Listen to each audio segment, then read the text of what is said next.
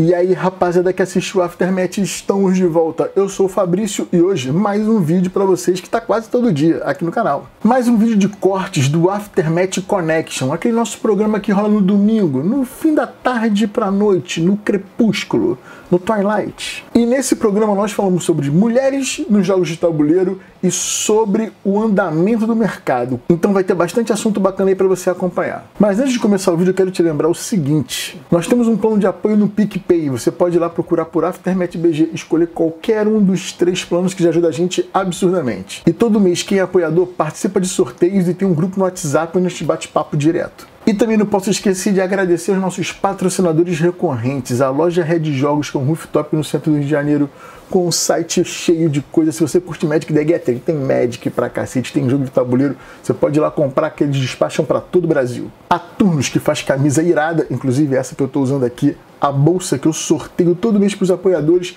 para você carregar seu jogo com segurança, porta-dade de couro, caneca, um monte de coisa legal relacionadas ao hobby. E a Gorilla 3D, que está sempre imprimindo um componente bacanudo para deixar seu jogo bonitão, pimpudo em cima da mesa. Na descrição do vídeo tem um link para todos eles, vai lá dar moral para quem dá moral pro canal. E também na descrição tá um link para você votar no Aftermath no Prêmio Ludopedia. Nós estamos na final. Pelo quinto ano seguido estamos na finaleira com os cinco mais votados do Brasil na votação popular. Então vai lá, vota na gente, tanto no mídia audiovisual como no mídia digital para fortalecer ainda mais o canal. E se você é novo por aqui, já se inscreve e dá aquele joinha da confiança para ajudar na divulgação.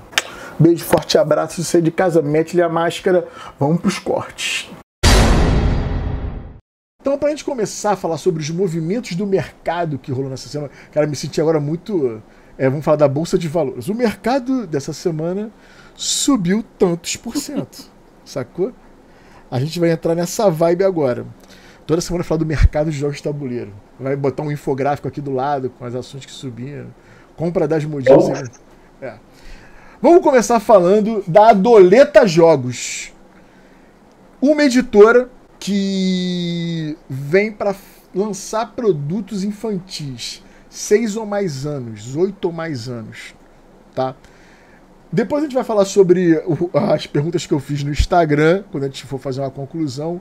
Mas eu queria que começasse com você, Eduardo. Qual a importância da Adoleta no mercado de jogos tabuleiros para você?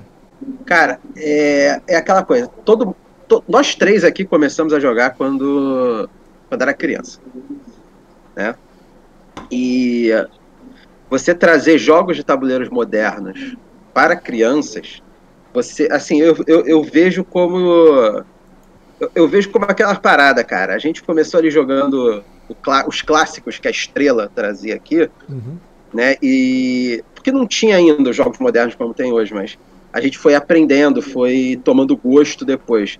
É, eu acho que você ter uma editora já trazendo esse tipo de jogo para criança, é, você está estimulando, né, o, por exemplo, você está estimulando o, a, a, família, né, o, o pai ou a, a, mãe que joga já a, a poder é, fazer a família participar, né? É, a gente vê muito, por exemplo, a gente vê muito Kaká jogando com os filhos dele, né? Sim. E e, e, às vezes a gente vê muita pergunta de pessoas assim, ah, cara, queria, queria indicação de jogo para jogar com meu filho, com a minha filha e tal. E não tem muito, não né? Você tem, né? Não tem muito. E você nascendo uma editora aí para trazer jogos de tabuleiros modernos para crianças, para o público infantil, caramba, é, é para mim é algo assim, aqui pelo menos no, no Brasil, é algo completamente novo, cara. E já tá vindo com dois com jogos de dois autores aí, né, cara? De nome absurdo. É, de é. nome, né? O Sérgio Halaban. O Sérgio Halaban. Né? E um jogo, um jogo que já saiu do Halaban, um jogo que já existia no Brasil, que é a Floresta Encantada, mas agora ele teve uma repaginada tanto graficamente quanto de regra também, né? E agora ele tem um modo avançado ali que ainda assim, né? Embora o nome é modo avançado, ainda assim é indicado para criança jogar, né? A gente jogou nesse modo avançado e a gente viu, né, que pô, é, é muito ok para uma criança jogar. Uhum. E o outro é o Arquimedes, né, cara? Do, do, de ninguém menos, né, do que Doutor Doutor, Doutor Kinese, né? Doutor Kinese, né, cara? É, a única coisa que eu escolho é só o lance da novidade. A Curió já tava aí também fazendo isso, né? A Isabel Butcher ah, é verdade, faz a Curió já faz um trabalho ali em cima. Né? Verdade, verdade. E Romulo, e aí, para você, a importância disso, da doleta aí no cenário? Vou novamente falar como alguém que, que, que estuda o mercado. É, quando a Doleta foi começar, eu tive o privilégio de ajudar eles com uma pesquisa. Né? Eu trabalho com parte de, de, de experiência do usuário, então eu conheço um monte de técnicas de pesquisa, ajudei a formar uma pesquisa que é, deu ali insumos para a Doleta. Né?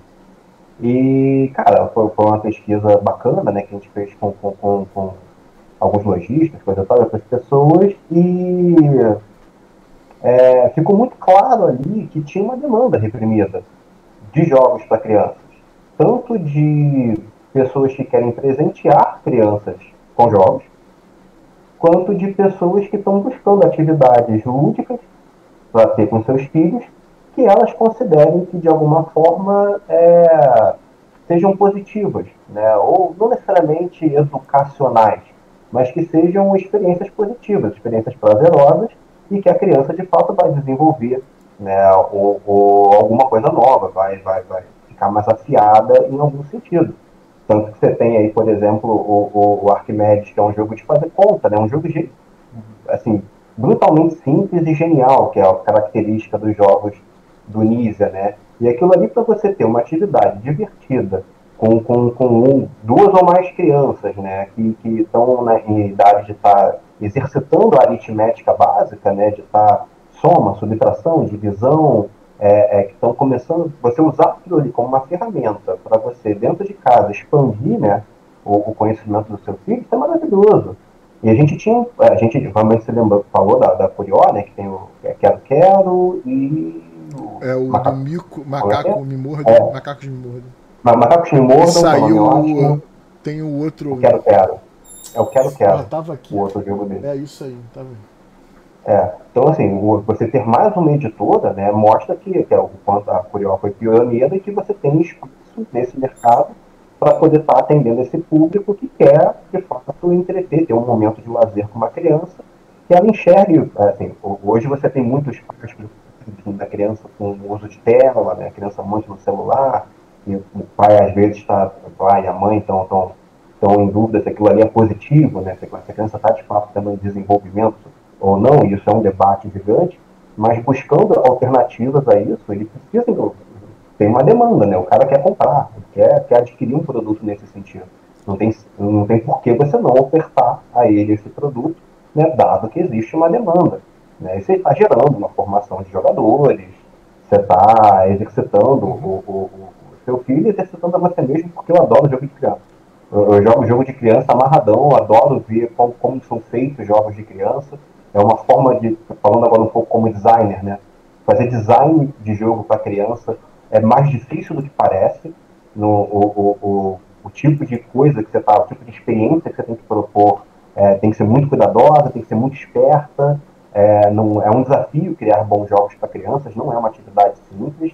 O Halaban aí com Floresta Encantada, que é um produto o, o, o, muito bom, muito, muito bonito, né, e com uma jogabilidade muito simples, muito gostosa, e que fácil você ter uma criança ali se entretendo e tendo um momento positivo com a família ou com os amiguinhos. Eu sou um grande entusiasta de jogos de criança, quero que tenha muito mais jogo de criança, quero dar muito jogo de presente para a criançada.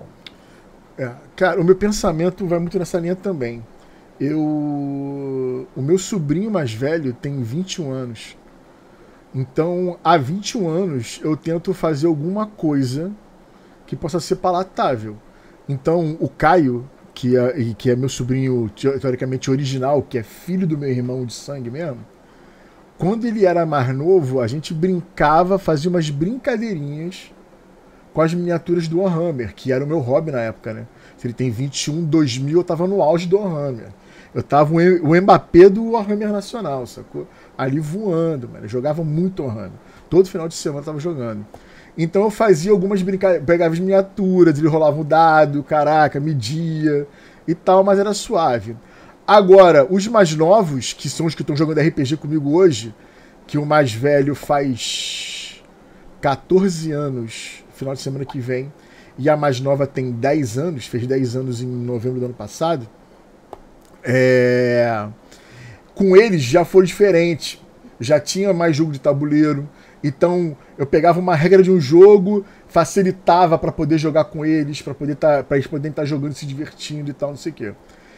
É, para mim é muito importante ter isso para todos os aspectos que vocês já levantaram, desde interação com a criança a mercado. Porque quem nunca, quando era criança, ganhava um jogo de tabuleiro que era muito além do que você podia jogar? Teve uma vizinha minha que, quando a gente tinha 12 anos, ela ganhou um Master de um tio dela. Porra, brother, a gente com 12 anos na escola não aprendeu o que o Master perguntava. Círculo do Fogo, eu tenho esse trauma até hoje.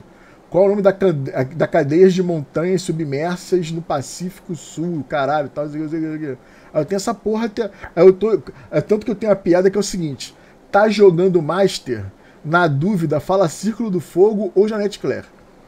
Sacou? Porque tinha as perguntas de atualidade lá e tal, não sei o quê, sobre novela, sobre não sei o quê, parará, pererá, pereri. Aí a resposta era Janete Claire. Aí eu uso essa porra até hoje. Vamos jogar Master? Vamos. Na dúvida, Janete Claire ou Círculo do Fogo. Tá, tá resolvida a parada. Sacou? Então eu, é, é, é importante isso. É importante.